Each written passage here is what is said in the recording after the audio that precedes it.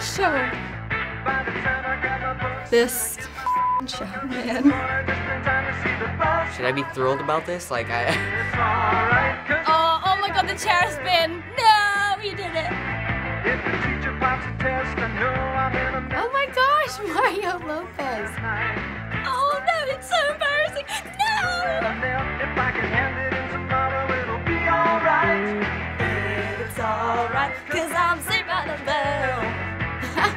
That perm.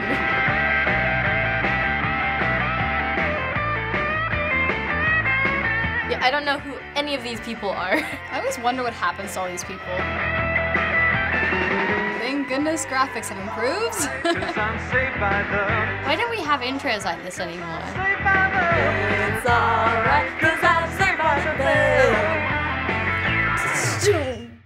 Shows from the 90s were the best. I love how they had like the title at the beginning of the titles and at the end of the titles, just in case you forgot what you're watching. You're watching Saved by the Bell!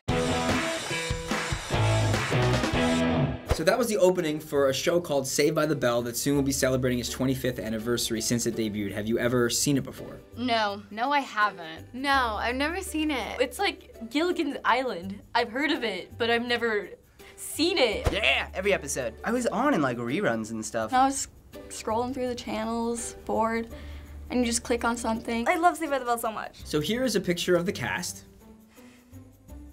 That 80s hair though. Well, I'm pretty sure that's like the classic 90s look right there. The girls first of all have perms. If anyone got a perm today, people would be like, what are you doing? Everyone tries to act thug nowadays. And it's like, no, these guys are just like happy, happy kids. We're kind of coming back to this fashion now. Everyone like is wearing this stuff like again. Some of the stuff they wear today is freaking crazy. Like, look at this. I'll have peacock sleeves. In 10 years from now, they're gonna be like, that fool looks like an idiot. Back then, every boy had a giant crush on Kelly Kapowski. That's understandable. She's good looking. It's creepy because she's like 10, 20 years older than me. At least she's got brown hair. That's all I'm gonna say. Hey, that's her on the shirt. I almost bought that shirt. Hey, I'll make her my next Woman Crush Wednesday. I got you, Kelly. Saved by the Bell also was one of the first instances of a show that had two male leads that all the girls would choose sides over. It was who do you pick, Zack or Slater? I knew it. I knew those were gonna be the two. They're so like average looking. Okay, they're attractive men, um, you know, but they're not like hot. What's up with the haircut, bro? Is that a perm or what? So who would you pick, Zack or Slater? Zack. I pick Zack. Zack Morris Probably Zack. I'll go with Slater. Even though I feel so weird saying that. I'm gonna have to go with Mario Lopez. Zack. I'm not di- really digging Slater's hair. Zack. Slater. Zack. Because he can stop time and break the fourth wall. Do you know how cool that is? I'm now going to tell you real plots of Saved by the Bell, and you'll see what you think. Okay. After a chemistry accident causes a cream to be created that seems to get rid of pimples. Zack gives it to Kelly to get rid of her pimples before the homecoming dance, and it works. But after a period of time, it turns your face maroon everywhere you put the cream. So Kelly's face turned entirely maroon, I saw that one. but she still won homecoming queen because maroon was the school colors. Oi. That's so lame. That's awesome. It's ridiculous, but it works. TV's not supposed to be realistic. It's supposed to be like a fun distraction from realism. Everyone is horrible, and no one would vote her if she had a maroon face. I'm sorry, Kelly, but your dreams are crushed in the real world. Another story. Zack uses subliminal messaging in songs to make girls fall in love with various guys, including himself. So he actually was brainwashing other students into liking him. This is turning really weird. That's really creepy. What? that wouldn't work. Oh my god, this is like a cartoon. The mixtape was a big 90s thing, so they just wanted to make it more creative. So now I'm actually going to show you a couple of clips from the show. Okay, cool. Let's hear your new business ideas. Gentlemen, You tie this piece of cardboard to your bike, pedal to the beach, and then show 'em, dude. Dude. I don't think surfers actually act like that. They make them seem so dumb. That's so mean. here's your $100 seed money. They're probably gonna spend it on pot.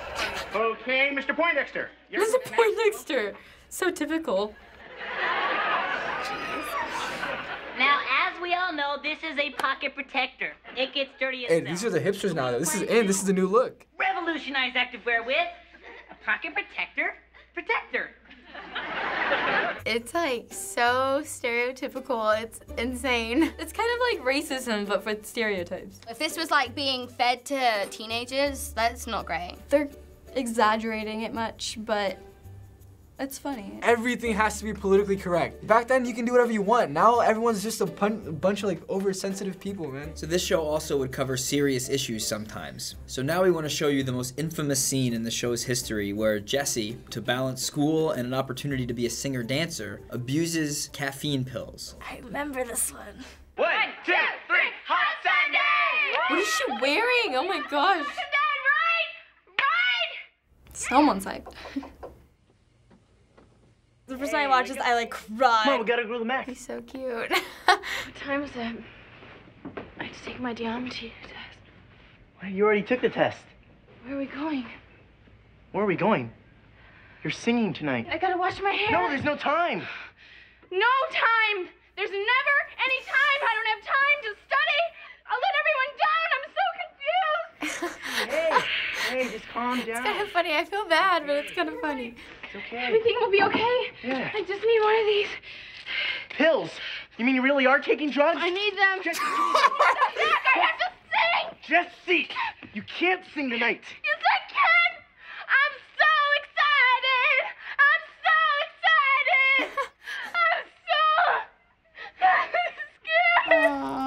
horrible. So thoughts on how that was presented? It's very funny. I mean, it's it belongs on stage, not on a sitcom. Her acting was like fake as hell. Like, I'm, I'm breaking down. I'm so excited. It was a, a little bit over the top, but it wasn't too far off with what can actually happen. From the other clip to this clip, like a complete change of things. Like this was a serious clip. So many people consider that to be this joke of a scene. Are you serious? No, I took that so seriously. It's wrong. It's not a joke. It really touched me. Watching it, it was kind of over the top, but it grabbed your attention, and you're still talking about it. Does it surprise you to hear just how popular the show was after seeing some of it? Yeah, looking back, that's it's ridiculous that people watch those shows and were entertained by them. I knew it was popular, but I didn't know it was that popular. No, because that's kids' TV today. That's so Raven and like Hannah Montana is not that far. There were shows like Full House and stuff like that where it was they had teenage role models and characters in them, but this one is entirely focused on the teenagers and their problems and their life and things that they're going through. Do you think the show would be popular today if it was exactly like this? No. No. No. No way. The color scheme?